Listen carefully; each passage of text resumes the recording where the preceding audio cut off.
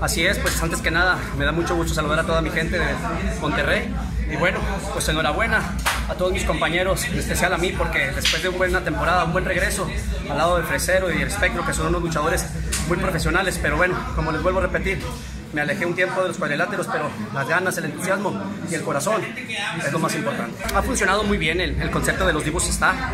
Eh, hemos estado por todo el noroeste de, México, estado en Estados Unidos y bueno, pues se vienen muchas, muchas fechas y muchos proyectos buenos. Eh, estamos por finalizar casi el año, pero tenemos muchas fechas y próximamente estaremos en la ciudad de ustedes. Así es, bueno, estoy haciendo cine mexicano al lado de muchos actores eh, internacionales muy importantes y bueno, pues estén próximos a, a las nuevas este, películas que, que he estado participando.